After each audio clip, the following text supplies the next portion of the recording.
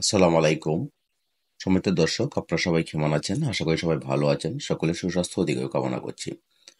প্রতিদিনের নেই আজকে আপনাদের সম্মুখে একটি ভিডিও নিয়ে উপস্থিত হয়েছি। আশা করছি আপনারা ভিডিওটি প্রথম থেকে শেষ অবধি কন্টিনিউ করবেন। স্বরাষ্ট্র মন্ত্রণালয় থেকে স্বরাষ্ট্র মন্ত্রণালয়ের উপদেষ্টা যে তথ্য দিয়েছেন সেই তথ্যটি আজকে আপনাদের সম্মুখে প্রকাশ করার চেষ্টা করছি। সম্মানিত দর্শক, আপনারা সকলেই জানেন যে খুবই কাছাকাছি সময়ে দুর্গাপূজা, আর সেই সম্পর্কে যে বাণী দিয়েছেন বা যে বিষয়গুলো প্রকাশ করেছেন স্বরাষ্ট্র উপদেষ্টা মোহাম্মদ জাহাঙ্গীর আলম চৌধুরী, তার কথাগুলো আজকে আপনাদেরকে জানিয়ে দেওয়ার চেষ্টা করব। পাশাপাশি সাধারণ আনসারদের নিয়ে তিনি যে কথা বলেছেন, সে কথাগুলো আপনার মুখে প্রকাশ করার চেষ্টা করছি। ধন্যবাদ। আপনারা দেখছেন বিটিএন ল ইউটিউব চ্যানেল। আসন্ন শারদীয় দুর্গাপূজা উপলক্ষে সরকারিভাবে চার কোটি টাকা ও প্রতিটি মণ্ডপের জন্য সাতাশ কেজি করে চাল বরাদ্দ করা হয়েছে। সনাতন ধর্মাবলম্বীদের স্বাচ্ছন্দ্যে পূজা উদযাপন সরকার এ উদ্যোগ নিয়েছে। পাশাপাশি পূজা মণ্ডপগুলোতে সার্বক্ষণিক নিরাপত্তা ব্যবস্থা ও বিদ্যুৎ সরবরাহ নিশ্চিত করারও উদ্যোগ নিয়েছে।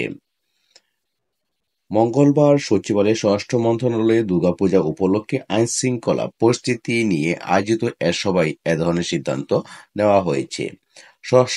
উপদেষ্টা মোহাম্মদ জাহাঙ্গীর আলম চৌধুরীর সভাপতিত্বে অনুষ্ঠিত সভায় ধর্ম উপদেষ্টা আফম খালিদ হোসেন, বাংলাদেশ হিন্দু বৌদ্ধ খ্রিস্টান ঐক্য পরিষদ প্রেসিডিয়াম সদস্য ও সাবেক সভাপতি অ্যাডভোকেট সুব্রত চৌধুরী, বাংলাদেশ পূজা উদযাপন পরিষদের সভাপতি বাসুদেব ধর ও সাধারণ সম্পাদক সন্তোষ শর্মা, বাংলাদেশ হিন্দু বৌদ্ধ খ্রিস্টান ঐক্য পরিষদ যুগ্ম সাধারণ সম্পাদক মনীন্দ্র কুমার নাথ ডাহামগর সার্বজনীন পূজা কমিটির সভাপতি জয়ন্ত কুমার দেব, সাধারণ সম্পাদক তাপস পাল উপস্থিত ছিলেন।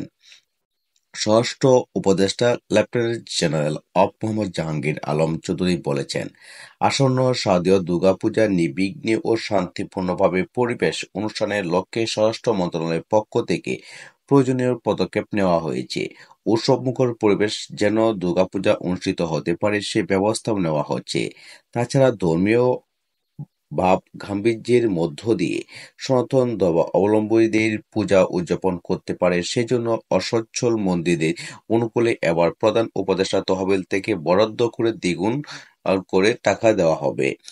নির্মাণকালে নিরাপত্তা ও পূজা মণ্ডপ সার্বক্ষণিক নিরাপত্তা নিশ্চিতকরণ পূজা মণ্ডপগুলিকে আইপি ক্যামেরার মাধ্যমে সংশ্লিষ্ট ইউনো অফিস, থানা কর্তৃক মনিটরিং করা সার্বজনিক মনিটরিং সেবা প্রদানের জন্য জাতীয় জরুরি সেবা ত্রিপল নাইন এ বিশেষ টিম গঠন করা, স্থানীয় প্রশাসন কর্তৃক নির্ধারিত স্থানীয় প্রতিমা বিসর্জন দেওয়া সার্বজনিক নিরাপত্তার জন্য পুলিশ ও র্যাবের টহল নিশ্চিত করা, দুর্গাপূজা চলাকালীন পূজা মণ্ডপ ও পার্শ্ববর্তী এলাকায় প্রয়োজনীয় সংখ্যক পুলিশ। সাদা পোশাকে পুলিশ র্যাব ও গোয়েন্দা সংস্থার প্রয়োজনীয় সংখ্যক সদস্য মোতায়েন করা পূজা উদযাপনকালে প্রতিটি পূজা মণ্ডপে আনসার ফোর্স হিসেবে নিয়োজিত রাখা।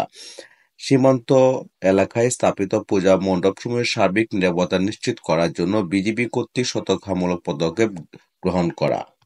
সম্মানিত দর্শক, এখানে যে আলোচ্য বিষয়টি আপনাদের সম্মুখে যে বিষয়টি এতক্ষণ উল্লেখ করেছে, তার মধ্যে এখানে বলা হয়েছে, পূজা উদযাপনকালে প্রতিটি পূজা মণ্ডপে আনসার পোস্ট হিসেবে নিয়োজিত রাখা। অর্থাৎ আপনারা পূর্বের ন্যায় যেভাবে পূজা মণ্ডপের দায়িত্ব পালন করে আসছিলেন, এবারও আপনারা সেইভাবে পূজা মণ্ডপের দায়িত্ব পালন করবেন।